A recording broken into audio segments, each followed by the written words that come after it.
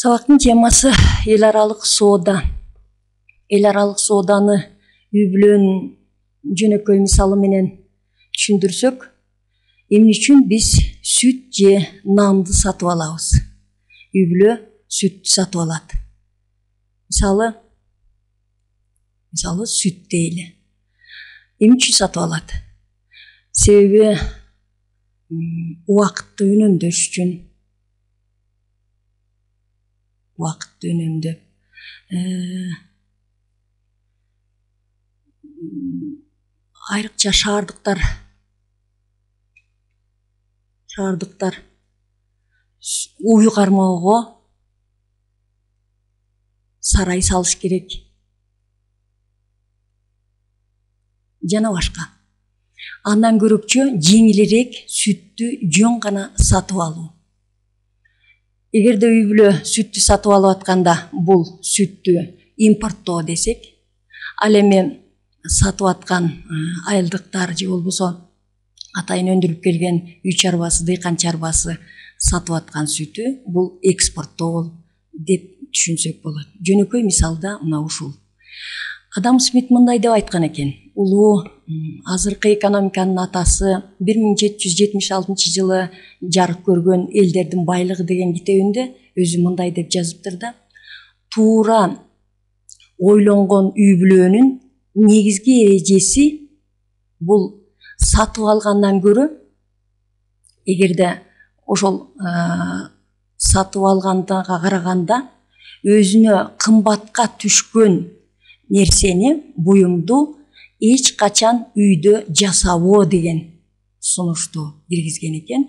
Бул китебинде жазып өткөн. Демек эгерде кымбатка турса ошол үй бүлө үчүн кымбатка турган нерсени мисалы азыр чет өлкөлөрдө биз кинолордон көрүп жүрөбүз туугандарыбыз барып жүрөт. Алар көбүнчө тамактангандан баштап кафелерде тамактанып ресторандарга барып атышат. Себеби ушул үйүнө тамак алып жасап аны продуктыларын алып келип убактын кетирип жасагандан көрөкчү ошол даяр тамакты тамактанып алып эс алганы жогорураак азыраак чыгымды кетиргендигине байкалып көрүнгөндүгү биз байкап жүрөбүз. Демек ушул сыяктуу эле мамлекеттер өзүнө эмне жеңил болсо өндүрүүгө мүмкүнчүлүгү болсо алар ошону гана өндүрүп артыкчылыкка ээ болушат экен мына ошонун негизинде соода жүргүзүлөт экен соода бул импорттук импорттоо соодасы же болбосо импорт деп эмнени айтабыз? Импорт бул чет өлкөдөн сатуу үчүн чет өлкөлөргө сатуу үчүн э, импорт бул чет өлкөлөрдөн сатуу үчүн киргизилген мамлекетке киргизилген товарлар бул импорттук товарлар болуп саналат мына кыргызстан эмнелерди импорттоп алып атат автомашиналарды чыгаруучу бизде автомашиналар мына импорттоп алып атабыз автомашиналар. Биз тамак ашты ача өзүбүздөн чыкканга мүмкүнчүлүк болсо деле баары бир чет өлкөнү карап туруп атабыз. Кантыбыздан баштап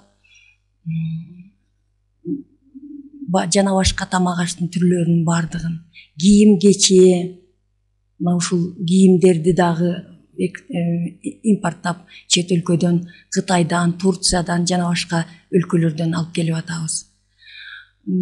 Импорттоп атабыз ар кандай Э, жанагы нефть минералдык э, ресурстар нефть газ жана башка ушунун баардыгын э, чет өлкөдөн киргизилген товарлар бул импорт болуп саналат экен ал эми дагы бир ушул тышкы соодадагы түшүнүк экспорт болуп саналат бул экспорт мамлекеттен чет өлкөгө сатуу максатында чыгарган товарлар бул экспорттук соода болуп саналат биздин кыргызстан эмнелерди экспорттоп атат кыргызстандын экспорттоосу биз тышка чыгарып атабыз эмнеге өндүрүүгө мүмкүнчүлүгүбүз болсо климаттык шартыбызга жаратылышына байланыштуу болгон мисалы тоолуу өлкө суу ресурстарына мол электр энергиясын электр энергиясын тышка чыгарууга мүмкүнчүлүгүбүз бар. Сууну экспорттоп атабыз айыл чарба продуктыларын айыл чарба продуктыларын айыл чарба продуктыларына баардыгы ушул сүтүбүздөн баштап сүт продуктыларынан баштап продуктыларынан баштап этибиз жана башка ушулардын баардыгын биз чет өлкөлөргө коңшу өлкөлөрүбүзгө казакстанга россияга жана башкаларга чыгарып атабыз. Эгерде биз мамлекеттин статистикалык билдирүүсүнө маалыматтарына таянсак эки миң он биринчи жылы биздин экспорт ушул экспортубуз тышка чыгаруубуз беш процентке беш пайызга өскөн экен. Мына жерде көргөзүлүп турат. Ал эми импорт тыштан киргизилген товарлардын саны он үч бүтүн ондон алты процентке өскөн ал эми он эки бир миң эки миң он экинчи жылдын биринчи кварталына карата берилген статистикалык маалыматта он эки процентке экспорт тышка чыгаруубуз кыскарган. Демек муну менен эмнени айта алабыз? Качан мамлекет тышка көбүрөөк чыгарганда мамлекеттин экономикасы көтөрүлүп байыйт деп ушул эле улуу окумуштуу адам смит айткан. Демек биз э, өндүрүүбүз өндүрүштүн көлөмү ички дүң продукт азайып аткандыгы бул айкене көргөзүлүп турат күзгүсү болуп көзгө көрүнүп турат. Ал эми тыштан киргизилген товарлар биз тышты караганыбыз отуз тогуз бүтүн ондон тогуз кырк пайызга өскөндүгү көргөзүлүп атат.